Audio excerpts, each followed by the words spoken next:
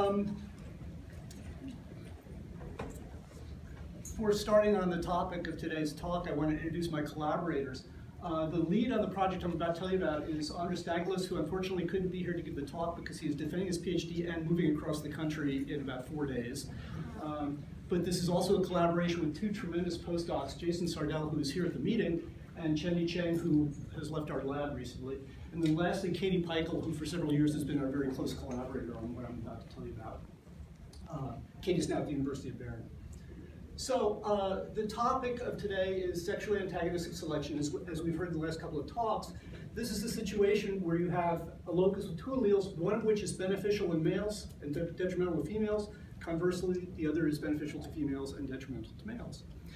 Uh, we find this topic fascinating for several reasons. One of all, first of all, it's the driver of sexual dimorphism, which is an interesting phenomenon. Secondly, it has important demographic consequences, which I'm not going to be able to talk about today.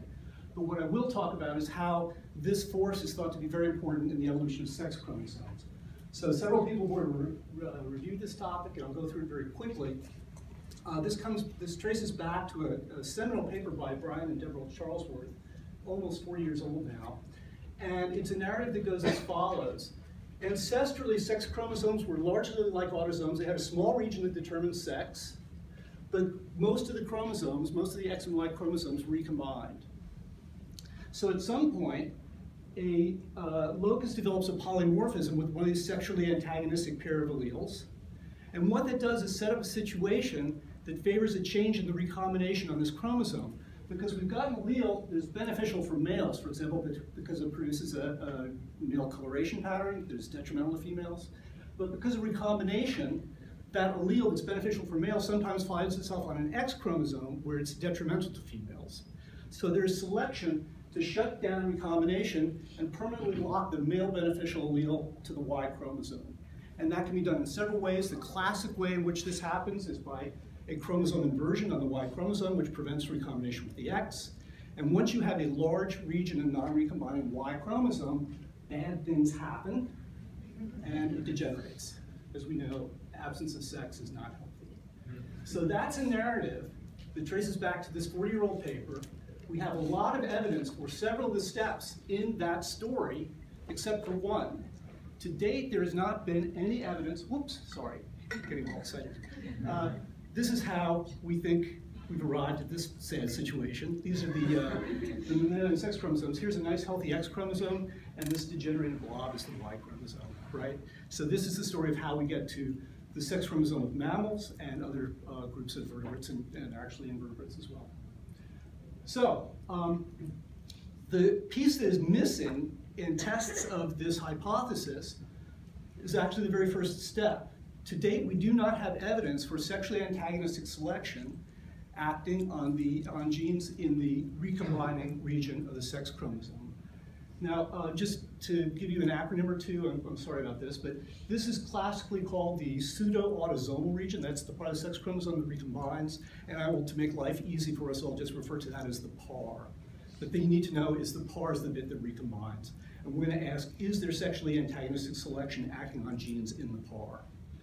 So, uh, several years ago, Rafael Guerrero and I um, developed a potential pathway to detect that kind of selection, and here's how it goes.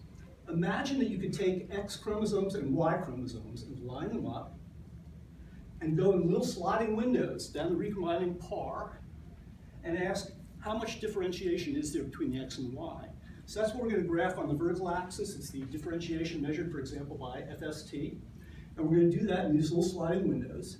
And what the models, the coalescent models show, is that we expect very high differentiation when we're near the sex determining region.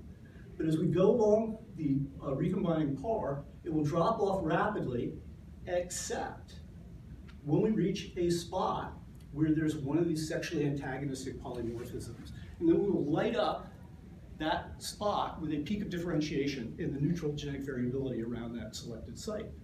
So, great, all we have to do is find these peaks. Okay, well, there are a couple of problems with that. Um, before I get to the problems, let me tell you what we're gonna work with. These are stickleback fishes. Um, about 10 years ago, our collaborator Katie Peichel and her collaborators did a survey of several species, and they found every species of stickleback they looked at has a different sex chromosome. we're going to focus on this species. This is the Japan sea stickleback, which you may not know about. It's split off from the three-spine stickleback, which everybody and their mother is now doing research on. And they are diverged by about two million years. As I'll show you, the three, excuse me, the Japan sea stickleback has a unique and very interesting sex chromosome. Um, here it is. Here is the uh, ancestral pair of sex chromosomes that are found in three-spine stickleback as well. But in the Japan sea stickleback, the Y chromosome has fused with an autosome. Bizarre, no? It's true. And what is so cool about that is that we now have a Y chromosome, which has got a very large non-recombining bit, but it's got an even larger recombining pseudo-autosomal region. And why that is so cool is there's now a gigantic target for sexually antagonistic selection to accumulate. Furthermore, in previous QTL studies by Jun Kitano and, and company, uh, there are two phenotypes that are thought to be under sexually antagonistic selection that map to that part of the chromosome. So, what a great place to go hunting for sexually antagonistic selection. Um, let's see. Now, what we're going to do then is we're going to sequence these chromosomes and look for divergence, peaks of divergence between the X and the Y. How hard can that be? Well, it turns out it's a little tricky. The problem is that typical or standard sequencing technologies will get you a little one or 200 base pair read that belongs on this part of the chromosome, but when you get the data, you don't know whether it came from the X or the Y. Say, you cannot phase the data, as they say. So a lot of people who are interested in this subject have approached it by comparing males and females. That has something to do with the X and the Y chromosome, but unfortunately, a male is a mixture of sequences from X and Y, and it really dilutes your power to detect this thing. So we is uh, elected to take a much more um, labor-intensive and expensive uh, methodology and actually experimental phase the sex chromosomes. And here's how that works you take, we took a Japan sea male and a three spines female, hybridized them in the lab. That is a, a cross that produces viable hybrid offspring. You get a son and a daughter, and then you sequence dad, mom, son, and daughter to about 30x coverage each. And what you do is you look for little bits in the son of sex chromosome that are shared in dad but not in mom. That's got to be on the Y chromosome and little bits in the daughter, the raw sex chromosome, that's in dad but not mom, that came in on an X. So we get entire phase X and Y chromosomes. And we did that did this on 15 of these families, so we've got a sample of um, 30 phased sex chromosomes, 15 X's and 15 Y's. So those are the data we're working with. Um, and I'm not going to show you all of the data. As a matter of fact, we've got phased entire genomes. I'm going to focus on this little portion of the recombining PAR. And the reason is that the coalescent models tell us that these peaks of differentiation are strongest when you're pretty close to the edge of the sex-determining region. You're not too far away. And so, and also you don't want to be right up against the sex-determining region because that's when you get this big peak of differ differentiation even if there's no sex antagonistic, antagonistic selection. So, we're going to look at this four megabase region and here are the data. So this is the edge of the sex determining region. And we're going, uh, taking a little gap so we don't get too close. Doing this four megabase uh, region going to the right. And what you're seeing is, uh, in these dots, are the average FST values between the X and the Y chromosome for all the SNPs that are within a 10 kb window. Why 10 kb? Because that's about the, the uh, size of the linkage disequilibrium in these diplomatic. So we've got all these uh, 10 KB windows. What's the gray stuff? For each window, we randomize the labels of X and Y chromosome, recalculate FST, rinse and repeat that a million times, and we get a null distribution for what that should look like. That's what the density of the gray dots is showing us. Okay. All right. So, drum roll, please. Do we see any peaks of differentiation? What we find is that there are four windows that show significant differentiation between X and Y. And let me tell you now what I mean by significant, and you can decide whether or not you want to buy in. Um, these windows, so we're doing a couple lot of comparisons, right?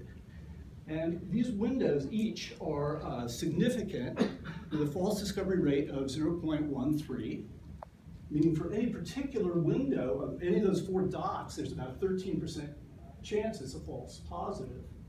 However, the probability that all four of those are false positives, meaning none of them are real, is 10 to the minus 4. So what we are saying is, we're not going to stake our lives on any particular peak, but we're pretty sure that at least one and probably three or four of those are real peaks of differentiation. So that's our evidence. Now, uh, everybody wants to know, well, what are those peaks? And let's zoom in on one of them. So here's a blow up of that particular FST peak. Uh, this is a much smaller region. The gray is the actual wind, 10 kb window itself. Now these dots are the individual SNPs. FST once again going up all the way to 0.4, so a lot of differentiation. Um, that peak is sort of interesting because it lies on top of the coding region. And that's shown by this green box here. And inside that coding region, four of the SNPs are non-synonymous, so they change the protein uh, that is produced from the coding region. If we look at all four of the regions, all four of the windows that are high FST peaks, two of the four overlap with coding regions. The other one that has an overlap also has two non-synonymous SNPs in it. And the other two windows, the windows three and four out of the four, are within seven kb of coding regions. So pretty surprisingly, every single one of these high differentiated windows is really close or actually within a gene. And the chance that you get that much overlap with coding regions by chance is quite small. Now, the next question, of course, is, well, what are the genes? And um, the stickleback genome is not quite as well known or uh, annotated as the human genome, but we can ask, what are the homologs of those proteins? Here they are in humans. What are those names? Well, there's some damn genes, I don't know. But you can look at what their functions are in humans. And here's the deal. All four of those windows overlap with proteins implicated in psych psychiatric disorders in humans.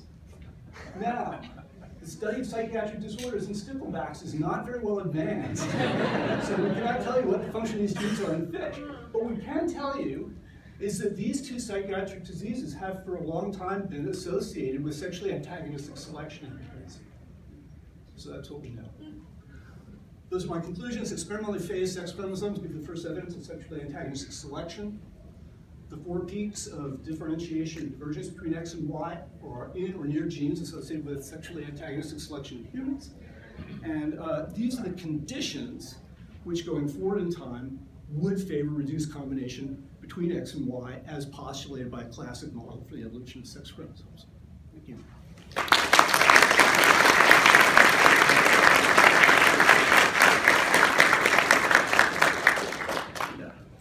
There's another way to sexually antagonistic selection, which is to go and measurement, measure it in the field and see it. Mm -hmm. So if you do that and you find QTL for those traits that are sexually antagonistic, on the pseudoautosomal region, would that not be evidence for sexually antagonistic selection being a part of what's in the PAR? Yes, and I, and I thought I did mention that there is evidence of two QTLs on the PAR. There is evidence of two QTLs. Two, two QTLs which have putative sexually antagonistic in Cyclidea there's evidence for sexually antagonistic selection in the field and QTL and I'm sorry. Yes, and so maybe what, let's follow, follow up. Uh, I just got gonged out. but I think what I meant to say, which I didn't say clearly, is evidence at the molecular level. That's not how you said it. My apologies.